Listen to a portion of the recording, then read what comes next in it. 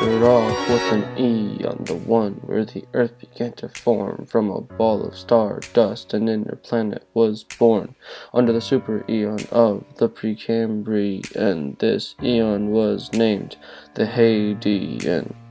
After that hell of an earth, the crust began to rise, moving to the Archean, where the oldest rocks lie.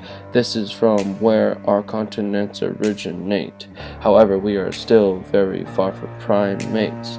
Then the Proterozoic eon life began in the sea. This all happened because of the oxygen that we can breathe, the oxygen from Archean stromatolites. Let our earth become an awesome home for life thank you Finally, life begins to flourish on this planet in the Phanerozoic super eon. We will tread it.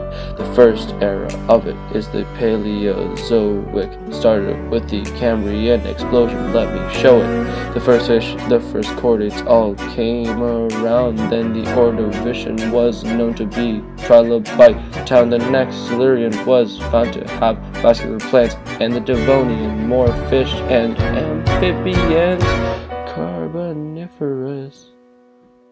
The next period is Carboniferous. It hosted the first reptiles. Ferns and seeds, ferns and seeds. Next up is the Permian, where reptiles diversified and Pangea formed with a big desert dry. However, all good things have to come to an end, and that's when we had the great dying extinction.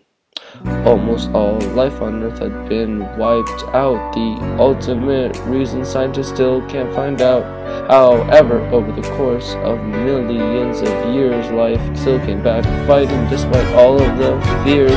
The Mesozoic era was the start of a new age, somewhere that reptiles had their strongest stage, the Triassic, and the first mammals and dinosaurs, and the Jurassic, the first birds, and more dinosaurs.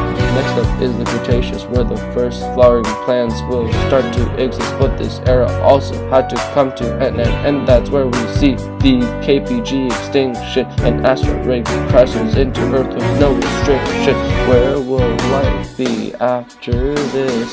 So much death we can't dismiss.